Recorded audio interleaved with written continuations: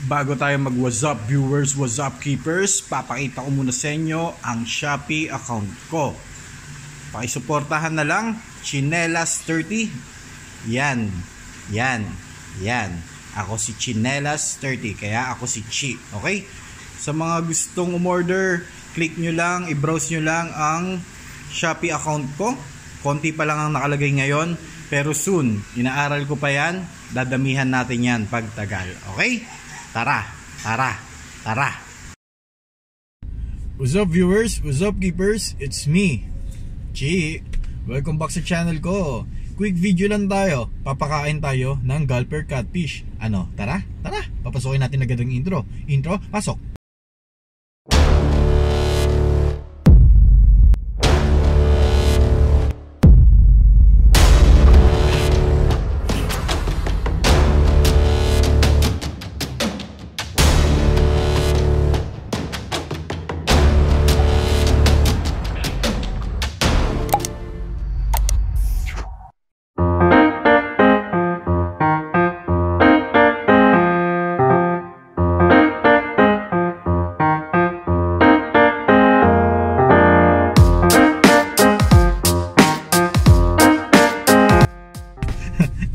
No? Nagmamadali tayo.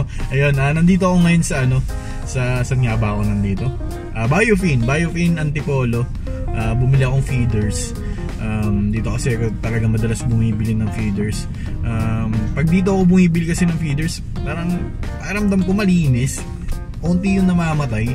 Unlike dun sa ibang nabibilan, uh, pag bumili ka kasi ng feeders, pag uwi mo may patay ka agad. After ilang araw may patay agad dito. Um, pag dito ako bumili ng feeders talaga, buhay eh. Um, bihira, bihira ako ma-experience ng nagmam, nagkakamatayan sila. Kaya, ayun, pinuntahan ko to para bumili ng konting feeders para dun sa Gulfer Catfish. Ano, tara na, uwi na tayo. Ito na yung feeders na nabili ko. Ito, yan. 30 piraso lang, 30 piraso lang yung feeders. Um, pero syempre hindi, hindi mo nila kayang kainin lahat yan. Itatabi ko yung iba. Tapos video natin yung kakainin ngayon. Okay? Uh, drive na ako pabalik ng bahay. Tapos balikan ko kayo.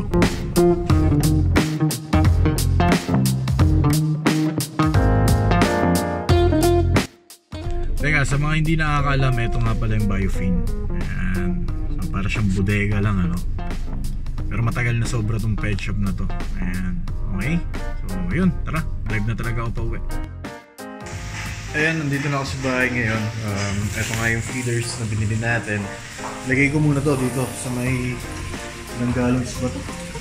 Ayan, 10 gallons ba yan? Nakalimutan ko na. Uh, tapos yun, water change na rin ako um, para swabe. Ayun, um, balikan ko kayo. Ayan, may konti. Okay, habang nagwa-water change tayo, pakita natin yung gulper catfish. Ito sila. So, tansya ko mga 3.5 inches or 3, 3 to 3.5 inches. Tatlo sila. Ayan. So, simula nung dumating to sa akin, hindi ko pa pinapakain. Dahil wala nga akong feeders. Uh, pellets kasi pinapakain ko dito sa mga to, tsaka dilis, tawilis. Eh, since hindi pa ako nagpapakain ng dilis tsaka tawilis tatlong araw na, uh, yan, hindi, pa, hindi ko pa sila na-try pakainin. Kaya ngayon, subukan natin yung uh, feeders. Okay, sa mga hindi nakakalam, itong gulper catfish kasi, ito yung ito yung isa sa mga makukulit na video dati sa Facebook na kumakalat. Kung napanood mo dati. Um, ito yung maliit na isda na kayang kumain ng mas malaki sa kanya. Literal talaga. So, um, subukan kong hanapin yung video clip na yon tapos ilagay natin dito and credit doon sa may-ari.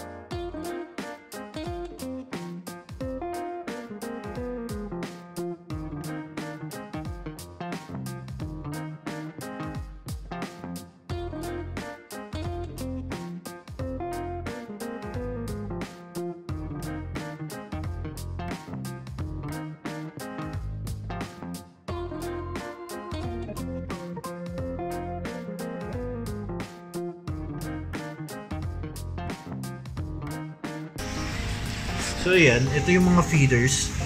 Um, medyo maliit siya, no?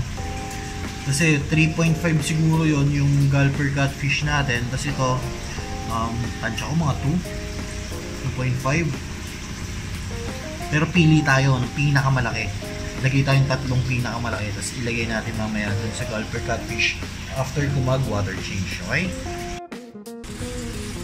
Okay, uh, meron, na, meron na tayo ditong tatlong uh, feeders. Ayan, tatlong piraso. Ayan o. Uh. Nakita nyo yung size. Ayan. Kita nyo ba? Ayan, tatlong pirasong feeders. Lagay na natin.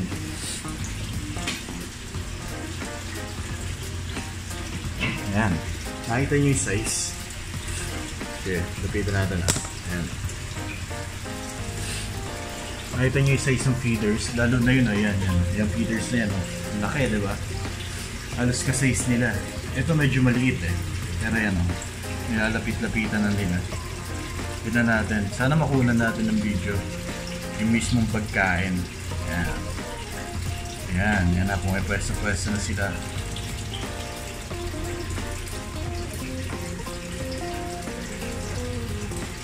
Yung forma-forma na yun. Maganda matutukan natin mismo yung pagkain. Yun yung iniintay natin sa video na to eh. Maski ako, na-excite ako. Ngayon lang ako makakita ng actual na pagkain ng gulper catfish. Tsaga-tsaga lang tayo sa paghintay. Sigurado ako gutom na yung mga yan. Kaya kakain at kakain yan.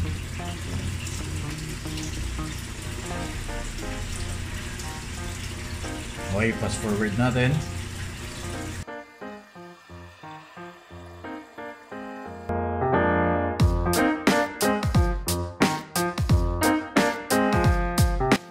Nakakainis, tinanggal ko yung camera. Tignan nyo, kumain na yung dalawa. Oh.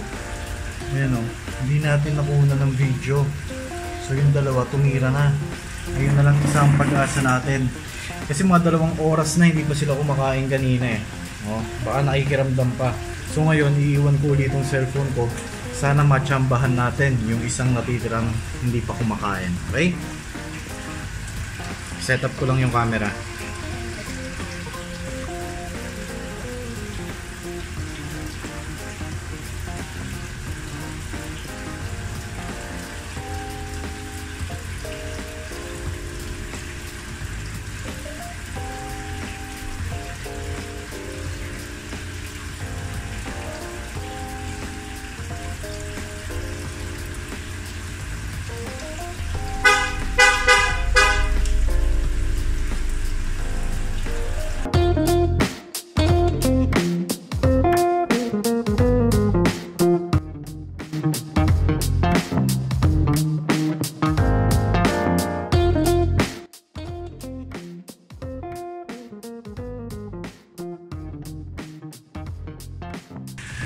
Bad trip, bad trip. Nasaksihan ko, kumain yung isa, pero hindi ko inabot na videohan. Nasa bunganga na niya. Ay, nako.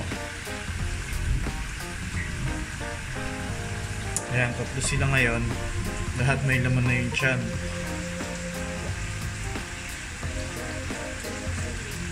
Kainis. Ayun, uh, fail ang video natin ngayon.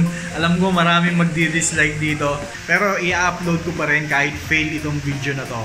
Um, subukan ko ulit next time. Uh, pag na-digest na nila itong kinain nila ngayon, gagawa ako ulit ng video. Uh, tututukan ko na talaga. Okay? Ayun, maraming maraming salamat sa mga nanood. Kahit walang kwenta to at wala kayong napala. Maraming salamat at kung bago ka pa lang dito sa channel, huwag mong kalimutan mag-subscribe i-share, i-like ang mga video ko. Okay, maraming salamat. Boboy! Boboy! Bye-bye.